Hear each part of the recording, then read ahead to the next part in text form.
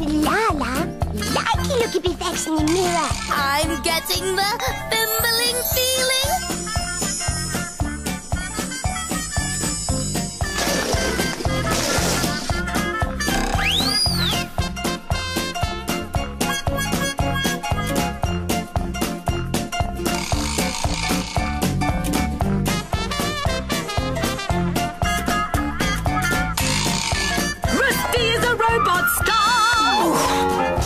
You'll never guess what they've just found.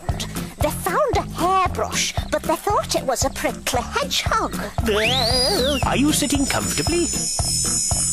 Then I'll begin.